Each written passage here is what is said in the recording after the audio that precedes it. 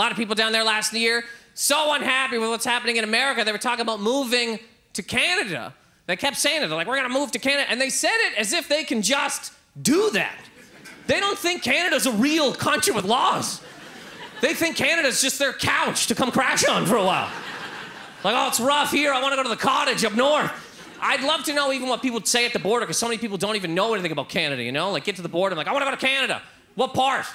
I don't know, downtown Canada. Point me in the direction. It's crazy that they're unhappy with their president talking about moving here, right? Do you guys know how bad our prime minister would have to be before people talked about moving to America? He would have to be eating children on TV. And even then, people are like, I just won't take my kids around the prime minister. not moving to America. It is crazy though how much we watch it, right? Like we really follow it as if everything that happens there affects us. They do things and then we do them. They were talking about getting rid of statues, and up here people were like, "Yeah, I always hated Sir John A. Macdonald." They were like, "We gotta get rid of Confederate flags," and Canadians like, "Yeah, we gotta put some up and then take them right back down."